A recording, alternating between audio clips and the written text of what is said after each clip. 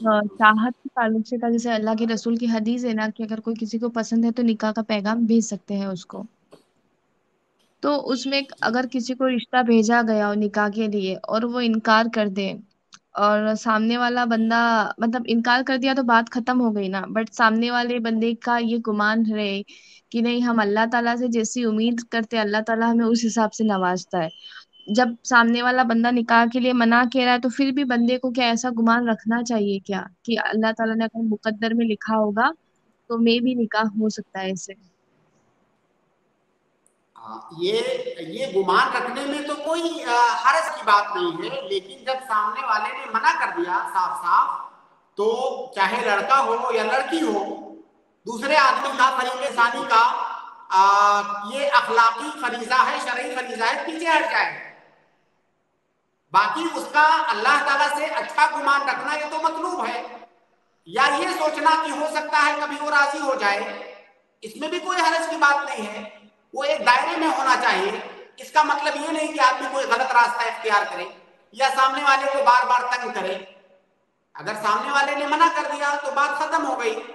अगर हो सकता है, मान लीजिए उस सामने वाले ने मना कर दिया, आपने किसी से सिफारिश करवाया, बाद में हो सकता है, मान भी जाए वो। तो कोई हरज की बात नहीं है इसमें। लेकिन ये है कि असल यही है कि जब सामने वाले ने मना कर दिया उसको तंग ना किया जाए। और शेख इसमें एक सवाल अगर कोई रिश्ते के लिए मना कहता है ज़ाहिर बात है कोई लोगों का दिल भी दुखता है अगर किसी को चाहत होती है तो अब इसमें भी किसी को बंदे को गुनाह मिल सकता है क्या? क्योंकि आमतौर पर देखिए देखिए किसी का दिल दुखाना नाहक किसी का दिल दुखाना ये गलत है।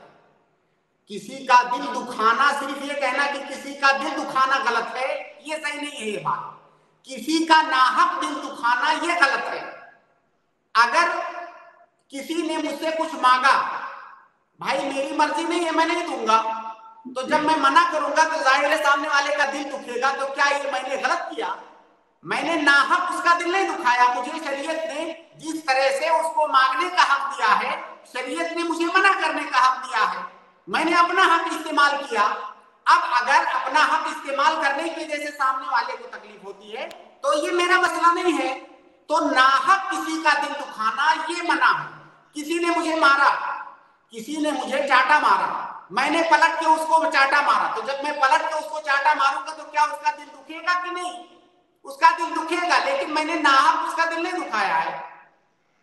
तो ये बात आप याद रखें कि नाहक किसी का दिल दुखाना ये मना है और शादी उसकी आ, उसकी चॉइस है आदमी चाहे वो लड़का या। लड़की चाहे तो मना कर दे वो